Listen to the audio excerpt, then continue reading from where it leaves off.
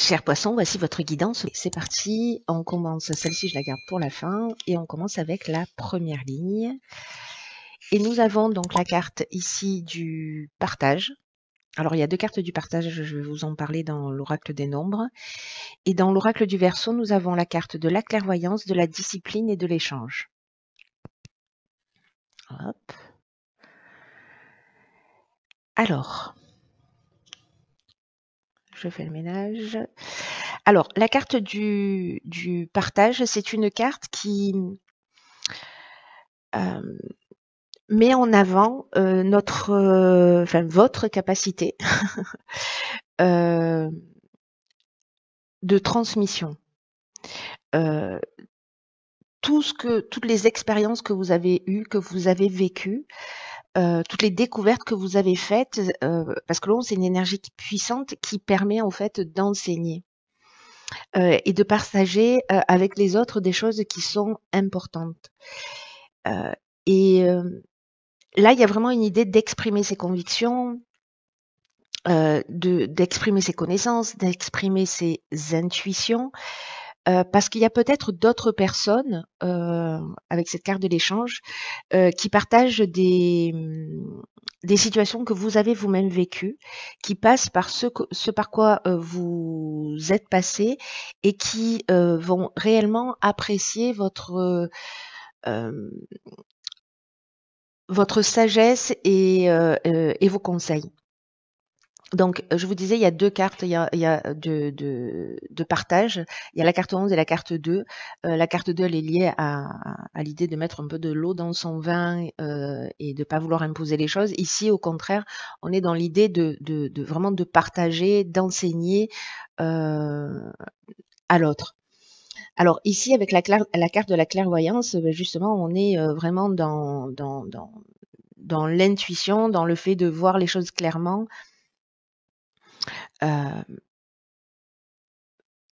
dans la lucidité, dans, l'instinct. Ici, c'est peut-être dans le cadre d'un échange. Alors, ça peut être avec votre conjoint, avec un ami, avec une personne que vous croisez dans la rue, en voyage, dans le domaine professionnel, peu importe. Bref, un membre de votre famille. En tout cas, ici, il y a un échange où vous allez permettre, j'ai l'impression que vous allez permettre à quelqu'un de voir les choses, vous allez donner des conseils euh, ou partager une expérience qui va permettre à, quelqu'un de sortir d'une situation euh, euh, peut-être un peu complexe, en tout cas de lui permettre de, trouver un chemin plus rapidement vers la sortie par rapport à cette situation. Donc là, en fait, il y a peut-être des personnes qui vont venir vous solliciter euh, pour vous demander conseil, pour euh, pouvoir les éclairer, et c'est ce que vous allez euh, faire et, réussir hein, pour le coup, parce que ça va résonner en vous en fait. voilà, il y a, quelque chose qui va qui va se produire et vous allez vous allez pouvoir aider. Voilà, vous allez pouvoir aider et éclairer quelqu'un. Et parfois on reste, on se dit non, je vais pas m'en mêler, etc. là, en fait, on vous dit osez, osez exprimer ce côté-là chez vous il y a peut-être une idée aussi de partager des connaissances d'une manière beaucoup plus large, de communiquer sur peut-être vos dons particuliers. parce que la clairvoyance, bah, c'est aussi une carte de clairvoyance au sens strict du terme, hein, de, de, don de voyance. Donc il y a, peut-être ça aussi, c'est-à-dire de, de, trouver un moyen de partager et d'oser partager euh, ses capacités chez vous. Et de reconnaître en fait, euh, euh, de reconnaître et, de reconnaître ses capacités chez vous, parce que peut-être simplement vous les sentez, mais vous les partagez pas avec d'autres. Et là, en fait, il y a une idée aussi de partager parce que vous allez faire du bien aux gens soit par votre expérience, encore une fois, dans un cadre plus intime, soit à un sens beaucoup plus large euh, de développer vos capacités et euh, de, faire en sorte d'être, ben, euh, comment vous dire ça D'être dans une forme de rigueur, de discipline, voyez, pour, pour communiquer sur ce que vous faites. Très intéressant et très chouette. Hein. Dites-moi si ça résonne pour vous là, parce que pour le coup, euh, waouh. Alors ici, on a la carte de l'éveil. On a la carte euh, de la passion, de l'abondance et de l'homme. Ok.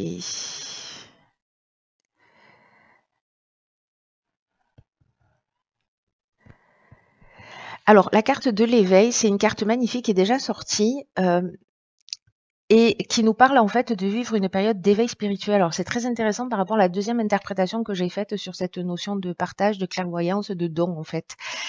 Euh, et ici en fait il y a une idée dans la carte de l'éveil euh,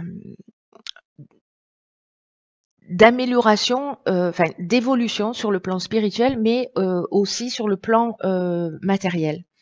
Ici, il y a une idée de développer son sens des responsabilités et il y a des avancées significatives qui vont se produire dans votre vie et des prises de conscience parce que la carte de l'éveil, au final, c'est ce qu'elle nous, c'est ce, dont elle nous parle, pardon.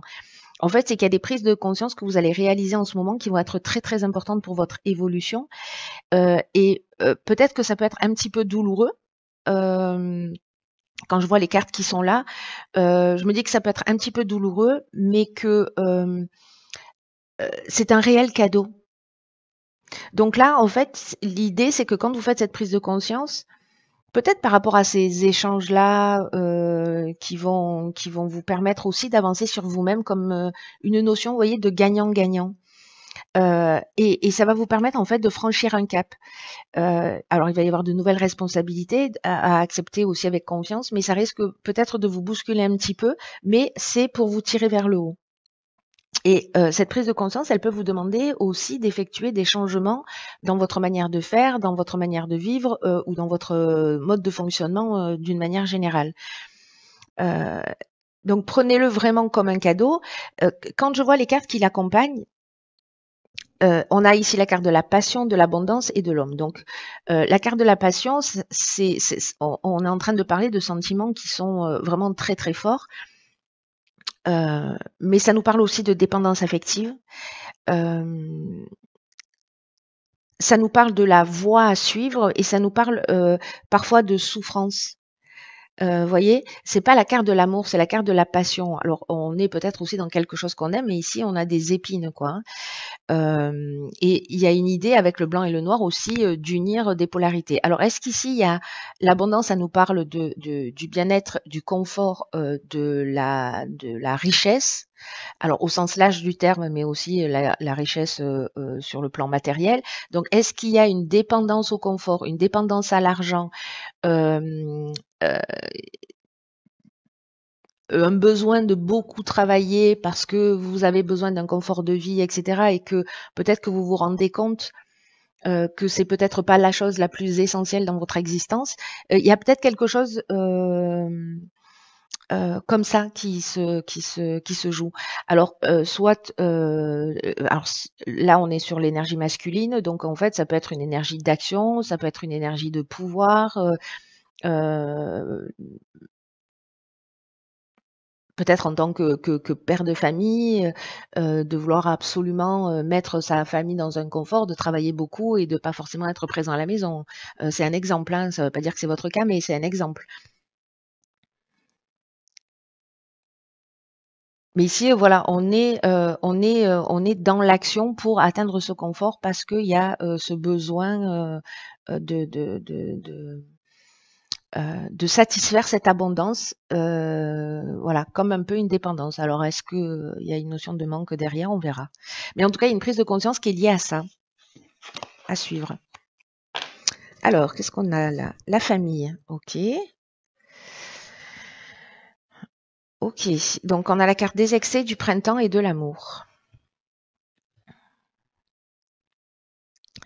Alors la carte de la famille, elle est déjà ressortie dans un autre tirage, les béliers. Euh, c'est une carte qui nous parle de, donc qui nous parle de la famille, comme son nom l'indique, mais d'une manière plus générale, elle représente les responsabilités en général. Euh, et là, c'est comme si on vous disait, alors c'est intéressant hein, par rapport à, la ligne précédente là. Euh, ici, on vous dit en fait que on vous invite en fait à, passer plus de temps et à donner plus d'attention à vos proches euh, et euh, d'être plus conciliant. Alors, est-ce que, euh, parce que ici, avec la carte des excès, on est sur des débordements, sur de l'énergie mal canalisée, sur des dépendances, sur les excès en tout genre, peut-être des excès de colère de tristesse, peut-être que vous dépensez beaucoup, peut-être que vous travaillez beaucoup. Et là, en fait, ce qu'on vous dit ici, c'est qu'en fait, votre famille a besoin de vous. Et vous avez besoin de votre famille. Et qu'il y a une idée ici euh, de prendre soin de ses proches. Donc là, ben, le printemps, euh, c'est une période de saison, donc ben, c'est la période dans laquelle on va rentrer. Euh, et la carte de l'amour, ben, ça nous parle de, ça nous parle de couple, ça nous parle de aussi d'être dévoué. Ça nous parle d'association, ça nous parle, mais dans cette situation, moi j'ai l'impression que euh, c'est comme s'il y avait une forme de, de, euh, dévouement euh, à sa famille, c'est-à-dire qu'on passe de la passion à l'amour là pour le coup sur cette période de printemps. Alors est-ce que c'est avec l'éveil qu'on sort d'un état, mais vraiment c'est flagrant en fait, c'est flagrant ici pour moi d'être présent pour sa famille parce que ça va faire du bien à tout le monde avec une idée de reconnaître ses responsabilités.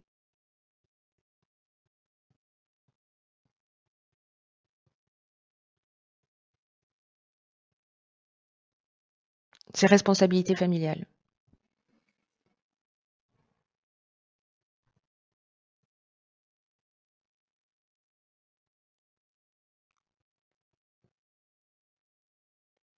On va voir ce que nous réserve la carte, parce qu'elle est toujours hyper pertinente.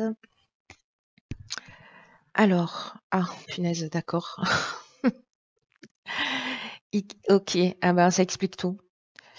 Euh, j'espère que vous n'êtes pas parti avant la fin. Donc, euh, ici, on a la carte de l'abondance. Sentez-vous mériter le meilleur sans aucune condition en contrepartie. Alors, cette carte de l'abondance, elle est euh, vraiment très, comment vous dire, très intéressante dans ce tirage parce que euh, elle nous parle en fait de nos manques. Euh, de nos manques, elle nous parle de nos frustrations et euh, surtout de tous les schémas qui ont tendance à se reproduire à ce niveau-là. ça veut dire qu'à un moment donné, on a un esprit de manque et que on va toujours faire des choses, peut-être en excès, pour combler ces manques. Alors, est-ce que c'est un manque d'argent qui s'inscrit à un moment de nous, à un moment donné à l'intérieur de nous, un manque de confort, un manque d'amour et on tombe dans la dépendance amoureuse, euh, dans l'excès de travail, voyez? Donc, en fait, ça, en fait, ça, ça résonne vraiment cette carte avec euh, avec la notion de avec la notion de manque. à un esprit de manque et, et, et, toutes les expériences en fait que vous avez vécues et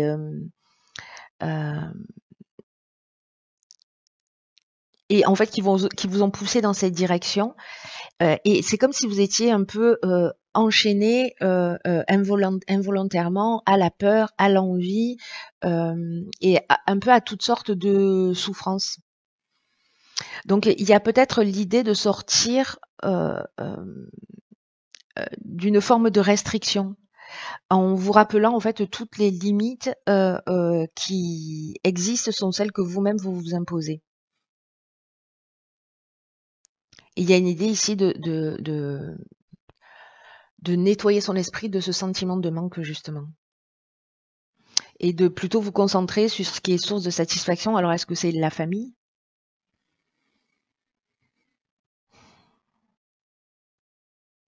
C'est comme si là, on vous disait, euh, mais quelle est votre définition de l'abondance? Qu'est-ce qui dans votre vie, quel est le domaine de votre vie dans lequel euh, euh, voilà, vous mettez beaucoup d'énergie au détriment peut-être d'autres domaines de votre existence et qui mériteraient votre attention et qui vous feraient du bien, du bien à vous et du bien voilà aux, personnes qui sont autour de vous? Donc je crois qu'il y a, peut-être cette question dans ce tirage-là à se poser euh, quant au, manque, aux frustrations, euh, à l'idée de l'abondance qu'elle représente euh, et pour, pour se mettre un peu plus en accord avec plus en accord et plus en équilibre avec ce que vous souhaitez.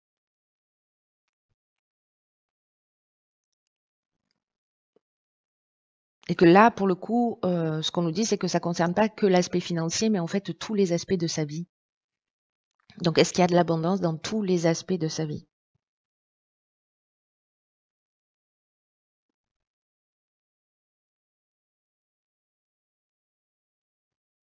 Avec cette carte, il y a une action qui est proposée. Alors, je vous dis souvent hein, de poser les choses par écrit.